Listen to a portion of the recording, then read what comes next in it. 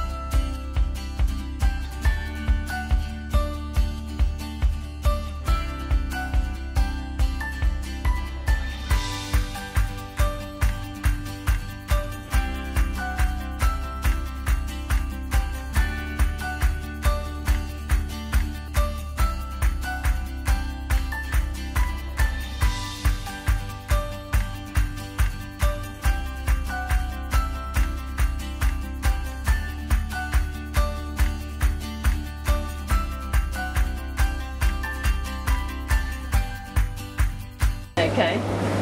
And that is Chef Chan. Thank you so much for taking your time to show me how to make this. I'm going to try this at home. The ingredients are actually quite easy to get even in Australia. Oh, there you go guys. Can you see how easy it was? It's uh, absolutely really, really nice. So I'm going to try this at home.